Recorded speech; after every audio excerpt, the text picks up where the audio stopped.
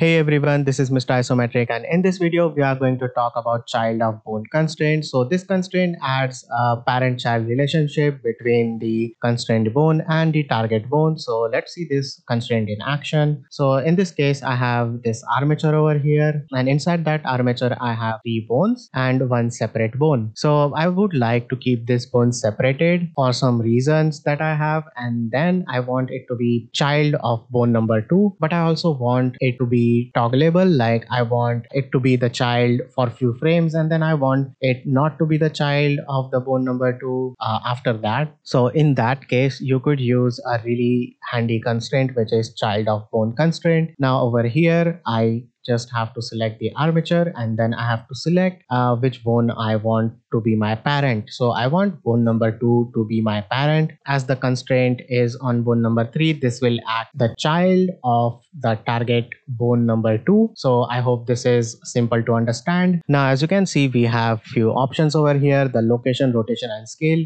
So whenever you parent something to something, it will take its location, rotation and scale uh, but in this way you have the option to make sure that it only takes one thing. And as you can see that as soon as I changed the removed the um, rotation and scale uh, this thing went way up there. So to fix that you have to click on set inverse and it will get back to its original position. Okay, so now let's see how this constraint works. So I'm going to turn on the rotation and scale and I'm going to set inverse again. So let's go and select our bone number two and let's rotate it.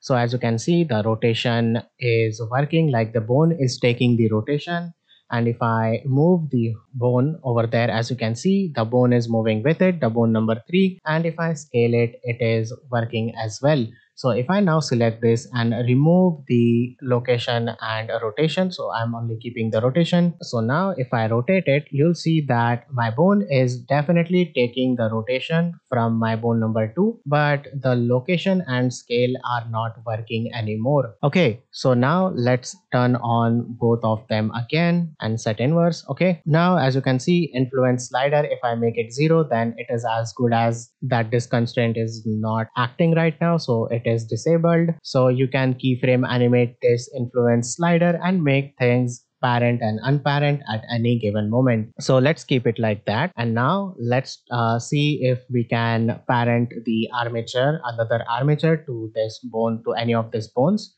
so I'm going to go into the pose mode and select bone number A. Let's add the child of bone constraint and let me select this armature. But now as you can see that it didn't select. So click on this drop down and select the armature. And now you need to select which bone do you want this constraint to be. I want my bone number two to be the parent. And as you can see that this bone suddenly went uh, over there. So all I'm going to do is just click on set inverse and it got back to its original position so it added all the necessary offsets that it had to add in all these three transforms. So yeah now if i go back and if i go back into the pose mode and if i rotate this as you can see that it is acting like it is parented to it. Uh, i can even move it and i can even scale it also one more thing. Now if you even move the armature itself the whole armature that bone is still going to be following this bone. So if you just want it to follow the armature, you can totally remove the bone socket from over there. And I just have to click set inverse.